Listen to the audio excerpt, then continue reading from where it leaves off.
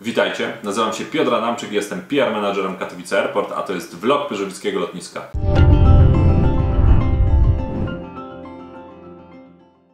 We wrześniu 2019 roku Górnośląskie Towarzystwo Lotnicze SA, czyli firma, która zarządza Międzynarodowym Portem Lotniczym Katowice w Pyrzowicach, rozpoczęła duży i ważny projekt, jakim jest rozbudowa i przebudowa terminalu pasażerskiego B.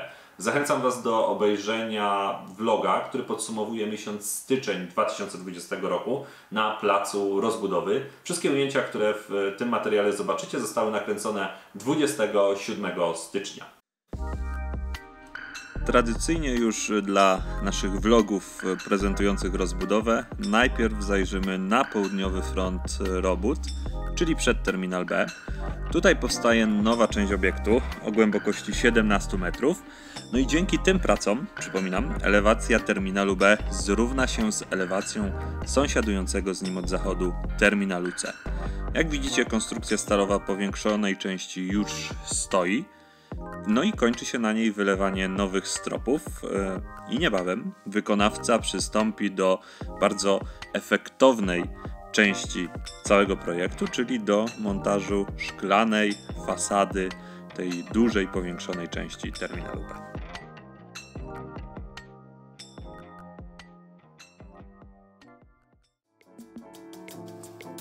Drugi front robót, czyli wnętrze terminalu B. No i tutaj mamy wyłączoną z użytkowania wschodnią część e, hali odlotów.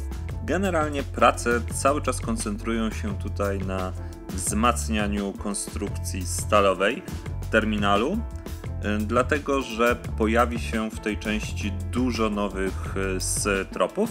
No na przykład ta dziura po ruchomych schodach, które w starej części prowadziły na parter, ona za chwileczkę zniknie i pojawi się tutaj strop. Na koniec naszego styczniowego raportu trzeci, północny front robót. No i moim zdaniem aktualnie najbardziej efektowna część rozbudowy, czyli trzy zewnętrzne klatki schodowe, które połączone z terminalem będą za pomocą mostów.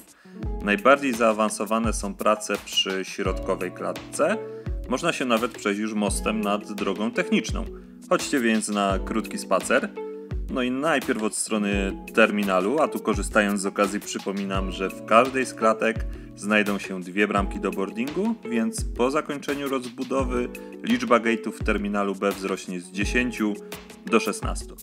No okej, no to teraz w drugą stronę, czyli od strony płyty, schodkami w górę. Oczywiście w każdej z klatek będzie winda.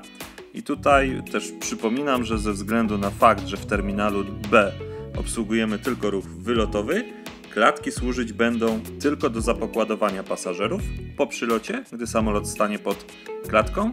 Pasażerowie po wyjściu z samolotu do terminalu C, który pełni funkcje przylotowe, transportowani będą za pomocą autobusów.